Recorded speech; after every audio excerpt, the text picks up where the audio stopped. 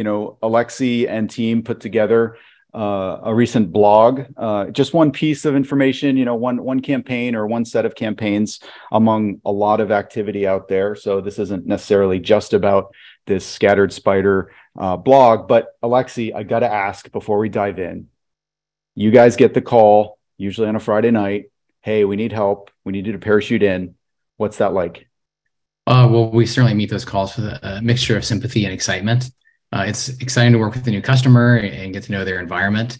And sometimes we run into old friends along the way uh, that are in the environment, so that can be entertaining. Uh, but for the most part, we know that it's very stressful for the customer. Usually, customer security teams and engineering teams have already been working really hard and they're already in overdrive for their other projects uh, and operational responsibilities before the IR is recognized. So it's already a very, very stressful time to them, and, and we're sympathetic to that. And one last quick question on that. Why is it always a Friday afternoon? I don't know. We call that IR Fridays, you know, 4.30 uh, in whatever time zone you're in tends to be when it starts to happen. We sort of wonder if maybe like internal counsel or you imagine that people start to see something bad on Monday or Tuesday and they think, uh, what is this? Who should we call somebody? And it just takes a while for people to, for that to trickle through an organization. But it, yeah, it's, it's definitely IR Fridays and right before a three day weekend, especially. Oh, yeah. And those those darn holidays too. Um, all right, let's dive into some more specifics here. So, uh, tell us a little bit about uh, this set of campaigns that you all have been tracking. So, uh, Scattered Spider is uh, an e-crime operator that's been targeting the telecom vertical and associated business process outsourcers. The most interesting characteristic is that they use their access to uh, swap SIM cards, which I know you'll go into in a second here, and it's also distinctive from an IR perspective because they go across cloud and endpoint on-prem with extremely aggressive pacing. Uh, it's to me characteristic of an adversary that has 0% concern for whether they're ever going to get arrested or caught.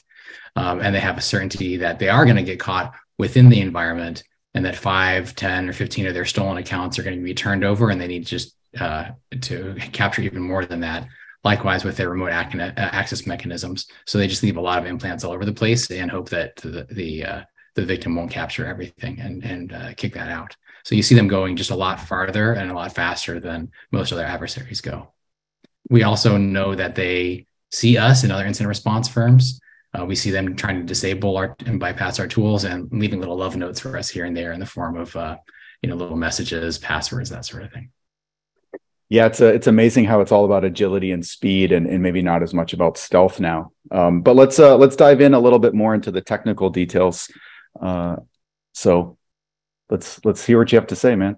Sure. So it's a little bit interesting because there's a long chain of events that uh, connect different uh, victim organizations or targeted organizations, um, and then the, where we get uh, brought into the environment. So sometimes determining determining initial access and lateral movement is a little bit challenging because you just don't really know where you are in the chain. But there's a lot of routes that uh, threat actors, in particular, scatter are using to get access. Not all of which can be proven, but we know one possibility, for example, is bribery. That when you have outsourcing operations, that and you know basically every customer we work with uses uh, this type of um, help desk, that sort of support, typically in areas where um, cost of living and salaries are a lot lower. And so threat actors can just walk in and stand outside of a known call center and say, Hey, I'll give you $4,000 if you just give me your, your password. I mean, that's very compelling for a lot of folks in a lot of places in the world. So uh, bribery is an interesting one. Uh, SIM swapping, which we discussed a little bit, and I know we'll go into a little bit further. Uh, voice phishing, so an aggressive campaign of just calling people until they'll, you know, click the buttons that you want them to click uh, MFA push fatigue. It's a trend I think is being widely recognized in the industry now, where you just keep hitting their uh, their authenticator, their you know the push on their phone until eventually they hit it at the wrong time. One person does it, and then you're in, and you know, there's not really a, a oops, I hit the wrong button, cancel the session. You know, and you don't even really hardly notice. So that's a big factor single factor VPN access. A lot of organizations um, think they have uh, two factor required, and they probably do for some part of their one of their VPNs, but a lot of times there's more than one VPN involved. And uh, that escapes the notice of the security organization um, and a customer. Uh, the other one I have to note is a certificate based auth- uh, authentication to, to VPNs it's pretty easily bypassed these days. We're seeing that the certificates are stolen. Sometimes the certificate authority servers are hit and compromised to generate new certificates for the threat actors to use themselves.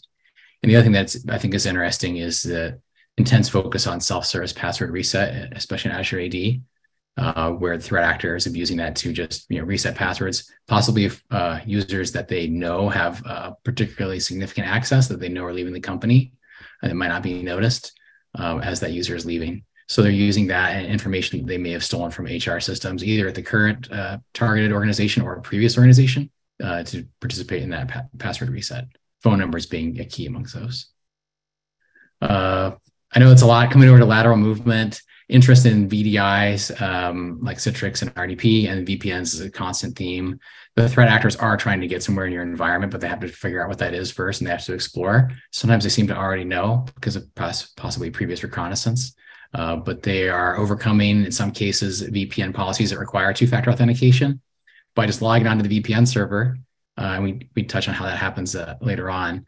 Um, and then reconfiguring it to not require two factor authentication anymore pretty simple approach that, so that they can keep logging into that VPN. Another uh, interesting technique to get get access and move laterally has been uh, by adding new workstations for automatic enrollment or launching new cloud VMs off of a template to get trusted access automatically. So they've created a new host in your environment based on a template that is then trusted, which they can then experiment with and use to to launch, um, you know, as a as a beachhead in your environment. Uh, and then finally, manipulating Azure AD groups to grant access to those uh, networks of interest so they can go exactly where they want to go.